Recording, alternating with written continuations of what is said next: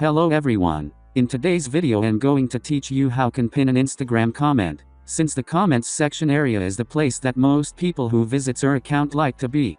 Therefore, you might want to pin a special comment for everyone to see once they have visited your Instagram comment section. So simply start by opening Instagram. And now that your menu profile is open, you can see that we have our posts and our profile details. So simply start by opening the post which has a comment you would like to pin.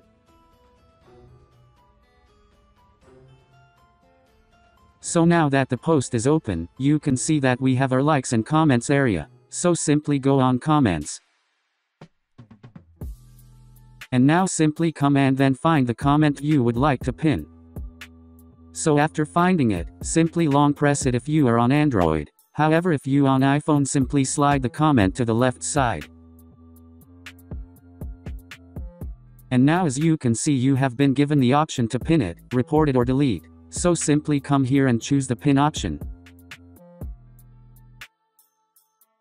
And now as you can see we have our notification which says that you can pin up to 3 comments, and the user you pin, they will be notified about it.